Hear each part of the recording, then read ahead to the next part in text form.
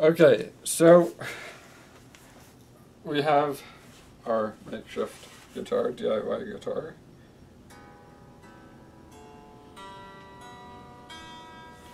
So right now we have a uh, toothpick under the nut and we have three strips of cardboard under the bridge. Um, holding it up as high as I can while still de demonstrating.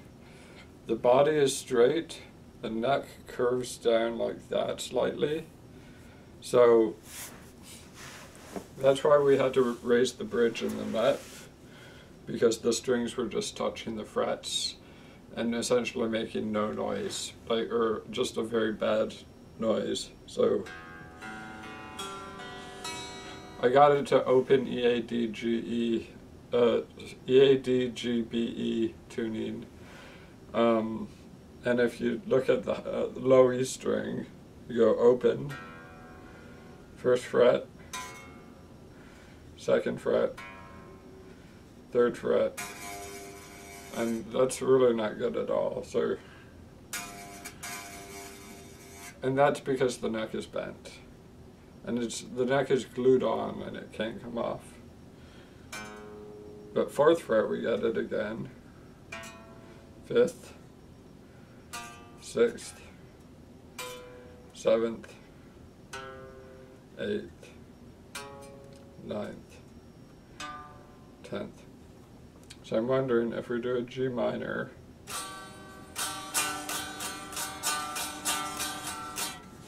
Like what if we just take a capo, um, put it on the third fret. Will that fix our problem?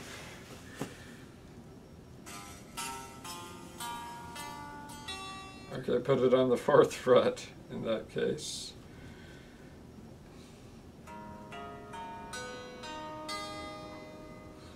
And then our G.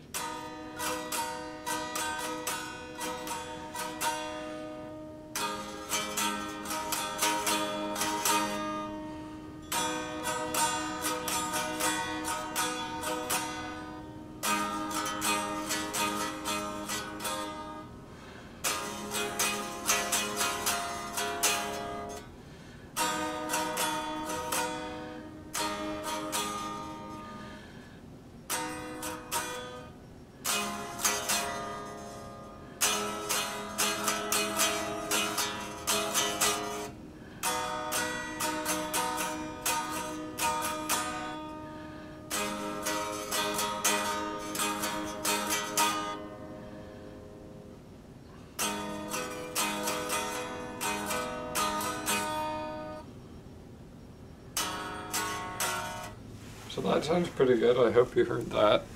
It's not electrified yet.